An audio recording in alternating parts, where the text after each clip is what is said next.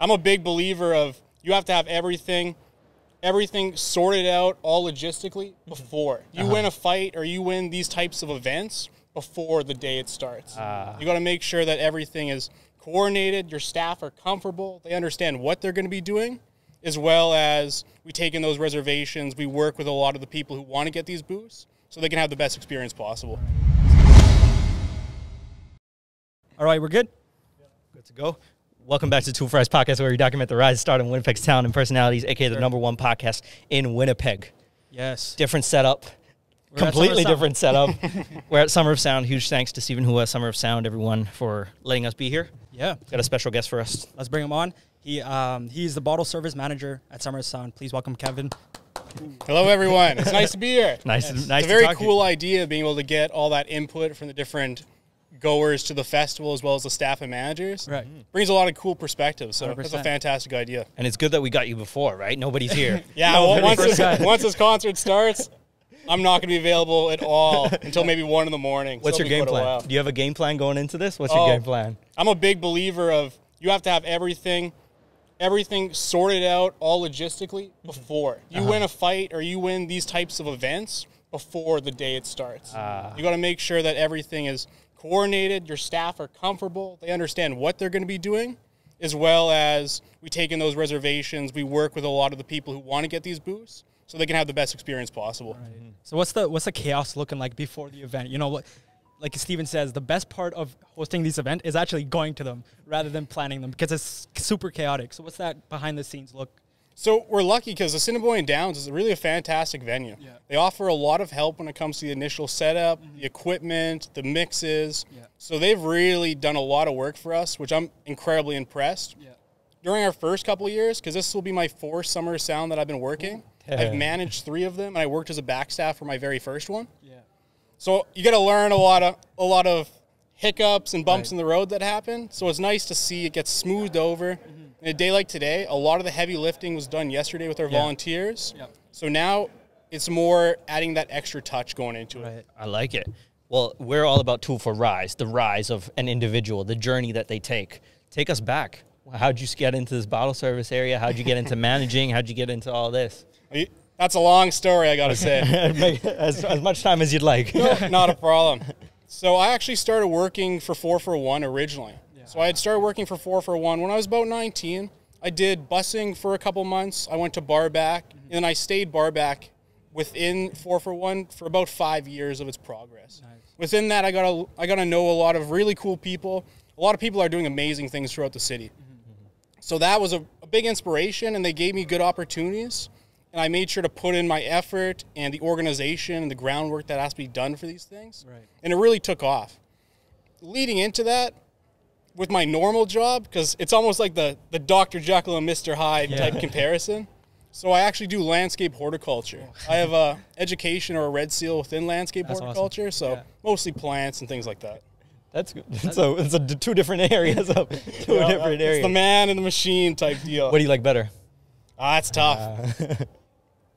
with with the events like this, when it's happening, the energy is unrivaled. Yeah. But at the same time, like with my roots with horticulture, providing these types of trees and actively like helping the environment is fantastic, and it gives a lot of like uh, assurance for the future, being able to participate in those types of things. Do you think like your experience from your landscaping transfer over to Summer of Sound at all? Like just management side of it or either like, you know, like customer service or all that? Cutting the Oh, grass. I think a good amount when it comes just to how precise you have to be with planning. Yeah. When you're doing those blueprints and you're you're planning out what types of plants work best in different situations. Right. That's kind of applicable even to the bottle service section where I have to find servers that can work really well with my back staff as well kind of have that relationship already with our booths. So it increases the experience and it makes it feel a lot more at home for a lot of a lot of booths that have been here since I started managing. What's what's the team looking like? Right? How many how many people are going to be bustling and busy today? Like, So on the team setting right now, uh-huh. I've got nine back staff and I've got 12 servers. We have two separate areas this year, and this will be the first year that we've had these cabana sections on the left hand side of the stage. Mm-hmm. The cabana sections will have a dedicated server for each cabana, as well as we'll have four barbacks helping the general operation of that area. And on my side, where I'm going to be, I have the rest of the servers, so I have another six servers there, and then I have five back staff to help me with all of our tables. Ah. On the right hand side where the track is, we have about it'll range between 26 to 31 tables, and I expect the majority of those to be packed and filled by by eight or nine o'clock. Yeah. So is that are you planning for the peak hours to be after three ish or like closer to like the later like um, the main sets, or are you planning on like even like the third or fourth stage kind of vibes? Yeah, that's a tricky thing with the preparation Yeah. is you never really know when some of these boosts are going to come. Yep. And your biggest, most chaotic boosts, they always come at the most inopportune time. Yeah. But ideally, I'd say that that five to six thirty window is when we're going to see the most the most of the VIPs and boosts start start, start shuffling in. Gotcha. Gotcha. There's going to be a, quite a bit of people. We see some of the people rolling up as well. Um, are you? Are you? Is there anything that you're worried about? Right, Yeah. like you're going into this event and you try to do as much planning as you can before, but something inevitably Yeah, may go wrong. So what's it, how do you mentally prepare for that? So I think flexibility and putting flexibility in your schedule and being able to take to roll with those punches because they're going to come. Yeah. You're never going to have that festival where everything is perfect. Yeah. But once those problems do come out of the woodwork, you got to be able to identify it, execute it, and make a proper position for it. Hundred percent. We always leave to leave to uh, sorry. We always like to leave our audience with some sort of advice. So any advice you can give to the listeners out there that want to start something entrepreneur wise, or even like summer surround, they want to get join the team, or even bartending or something like that. Any advice you can give to them? I think when it comes to the club industry within Winnipeg, a big thing is you got to be a go-getter.